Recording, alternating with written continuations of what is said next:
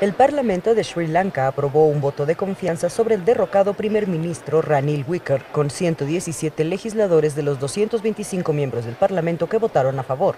La votación se produce cuando el primer ministro Mahinda Rayapaksa y parlamentarios leales a él boicotearon las sesiones por tercera semana consecutiva, alegando que el presidente del Parlamento, Karu Jayasuriya, estaba a favor de Wicker y su Partido Nacional Unido.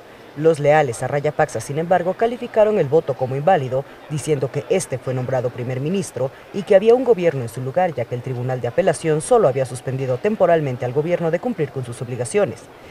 Sri Lanka se ha visto envuelta en una agitación política desde que Sirisena destituyó sorprendentemente al primer ministro Ranil Wicker y nombró al expresidente Rayapaksa como primer ministro y un nuevo gobierno a finales de octubre. Con información de la oficina en Colombo, Sri Lanka, Noticias Xinhua.